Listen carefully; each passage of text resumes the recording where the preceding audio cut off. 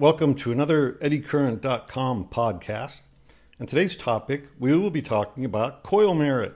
Coil merit, or Q factor of the coil, defines the ability and the efficiency of an inductor to induce a current in itself, or the ease at which and the efficiency at which a coil acts as an inductor. For an inductor to act efficiently, it will generate a robust magnetic field with minimal losses from heat. Now, I've taken countless ET exams over the years, and I'm always happy when the question pops up about coil merit because it seems like all they ever ask is what's the formula for coil merit? Well, that's inductive reactance divided by resistance, XL over R. The higher the inductive reactance, the higher the coil merit or the higher the Q. So it's always a free, you know, free point when you get that question, but that's kind of where it stops. Over the years when I've gone and looked up in, you know, training books and literature and publications, you know, what about coil merit? Give me some more information on coil merit.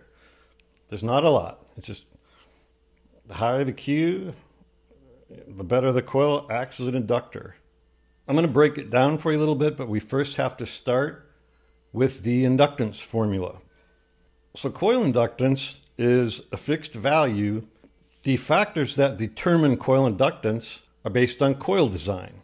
So, if you look at the formula, you've got you know number of turns of the coil, the thickness of the coil, the length of the coil, the number of windings in the coil. All of those things contribute to the inductance value. Now, inductance is a component of inductive reactance. So inductive reactance depends on the coil inductance out of the box and then the test frequency that you're driving that coil at. And then, of course, resistance is fixed based on the type of wire and length of wire, thickness, etc. You know that if you have a coil and it's got a certain coil merit value or a Q factor of X, if you raise the test frequency, you're going to raise the coil merit. So whenever I see anything about coil merit, I always ask myself, W I I F M. What's in it for me? Why do I care about coil merit?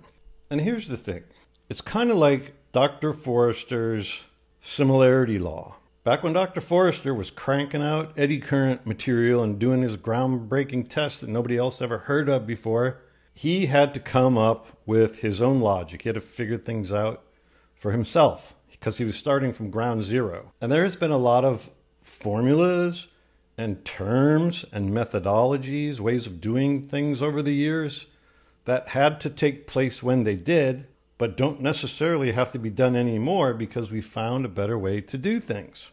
So, over the years, we stopped dealing less with the similarity law because we have figured out other formulas, such as the F90 formula, you know, to accomplish what we need to determine the correct frequencies for a certain thickness of a certain type of material. So we don't care about the similarity law anymore. We use other means to achieve our goals.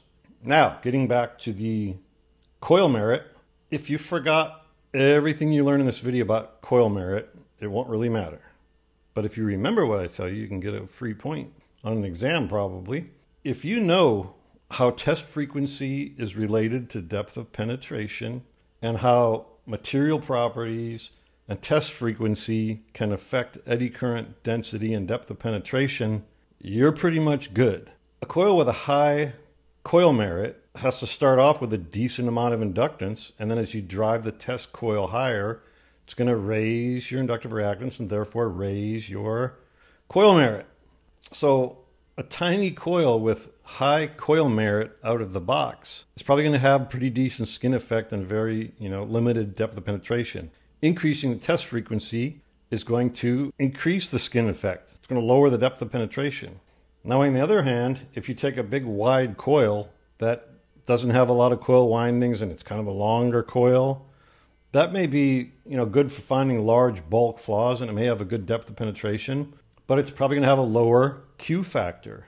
Now, if you raise the test frequency, you are raising inductive reactance, but it had a low Q factor to begin with. So it's not like you're going to turn that coil into a super great inductor just because you raise the test frequency. So coil merit and inductive reactance and coil design are all sort of interrelated. But again, if you know the fundamentals about how test material properties and test frequency affect your depth of penetration, you're probably good. The bottom line is when you're preparing for an exam, you do your research, you talk to your probe supplier, you look at the last inspection, you use all the tools you have to figure out what the best coil design is for the inspection you're going to do. Then you get the proper cal standard, and then you get out your calculator or your slide rule, and you look at the frequencies they used last time. You use all these things. And then the ultimate test always comes back to using an applicable calibration standard and making sure that your test system and the way it's configured, you're able to see the representative flaws in the calibration standard for what you expect or have the potential to come across during your inspection.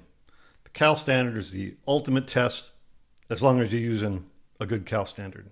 And again, if I've got any of this wrong, please leave a comment below. I always like to learn new things. Thanks for watching.